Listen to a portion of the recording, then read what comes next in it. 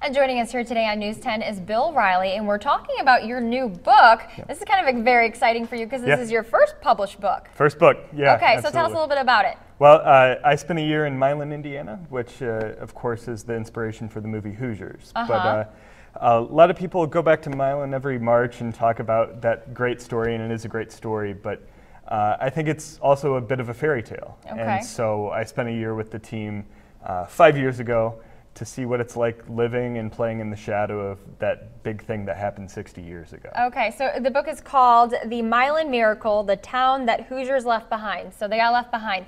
Okay, so if they're reading this book, what are they going to kind of find out? Don't give away too much, but give sure. away a little bit. Well, it, it, you know, I think when we think of Milan and Hoosiers, we think of farm boys shooting jump shots in their front yard until it gets dark, and uh-huh. that's not necessarily the case anymore. Uh, you know, there's a couple things that have happened in the past 60 years that have affected especially rural communities.